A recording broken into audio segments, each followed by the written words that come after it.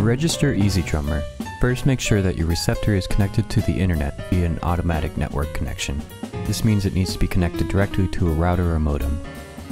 Load EZDrummer into the rack and simply log into your Toontrack account.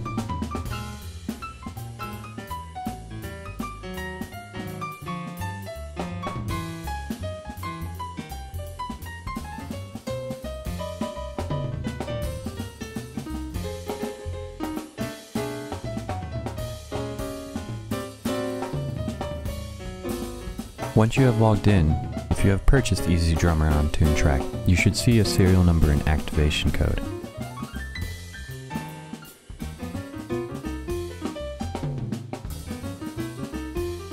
Click the Authorize button, and EZDrummer will complete its authorization. You should see a success window, and you can click OK and continue on to use EZDrummer.